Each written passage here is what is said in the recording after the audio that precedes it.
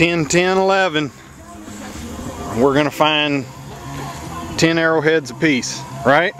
You got it, man. I got settle for one, but Yeah, me too. 10 would be great. Yeah, I won't get greedy. Look here, I just went over to get the camera, found four leaf clover. Well, I figured we better make a little intro video. I got a little pile of stuff going here. Richard's got a pretty good little pile of stuff already going. We've only been at it maybe an hour. He's got a broken drill down there and he pulled three tools out right away. Some pottery. He's got a pretty good hole going already. I'm still digging over in the trash pit. Look there, Cody Clintworth. That's another auger bit. Hey, hey, hey. Okay, we'll get back with you whenever we find some good old points with ears and tips and all that good stuff on them. Okay, it's probably five minutes since I checked in with you all ago. I had this, this is actually the same clump of dirt that the uh, auger came out of. Matter of fact, right there is the outline of where the auger was at. And I was busting up these clumps of dirt here. And I got a got a little arrowhead in there. So I'll uh, I'm gonna leave it there. Richard said he wanted to take some video of it. So I want to thank Creekdalton for coming out. I think we're gonna have a pretty good day today. We're just getting things kicked off.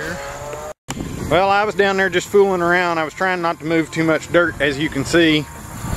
Wait, waiting on Richard to find one, just waiting around, you know. Look at this. And I, he came up with one, and it's a pretty good one too. Got a nice base on it. My Good big goodness, that clawed is stuff, cool. Hey, It's a little on the thick look, side, at, look at the color at it though. It's got some blues and some grays, kind of speckled one. a little white. Yeah, a little stack there, but hey, you know what? Hey, that'll look beautiful Base. in a case. I was gonna say the base makes up for all that. That's a cool base. yes, sir. Congratulations. Thank you very much. I saw the bit on this before I saw the bottom. The base is damaged, but it's got a nice tip on it. Yeah, it's still got the ears on it, doesn't it? Well, it has kind of a crazy ear on it. It You know, I'm didn't even have an ear on that side. I'm wondering if they didn't kind of work that down that way, using it just like it was.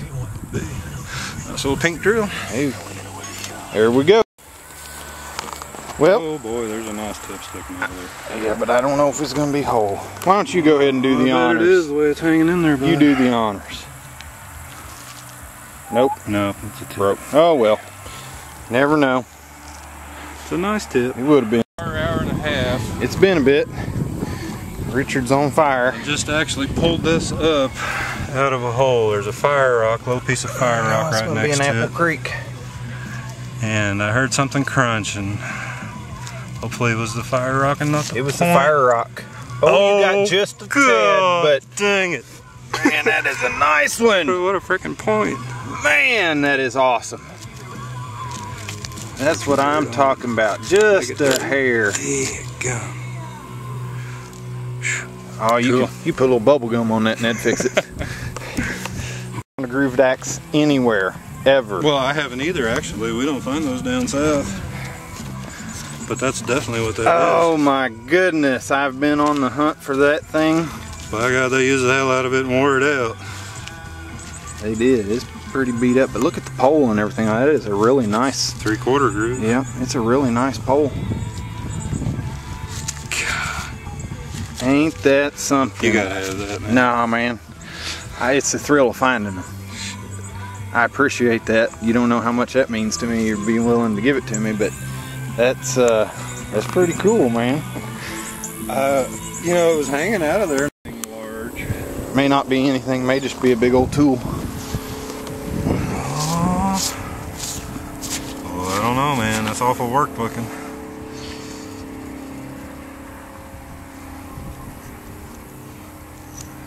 Holy guacamole. That's what it is. Big old tool. It's a fine one, though. It's almost Big like old hoe or something. a Yeah, a spade or a hoe or something. All right. Okay, guys, we got her all home, cleaned up. I'd say that was probably Richard's find of the day. How many years did you say it'd been hunting? 31, actually 32 years of hunting. 32 years of hunting, and he'd never found one. So it's only get those down there Only fitting that he found one. He got a real nice Apple Creek uh, on it. That's a good one. I like all the fossils in it. Overall, we had an excellent, excellent day. You just can't beat the kind of day we had today. There was a little bit of all kinds of action going on. The weather was beautiful.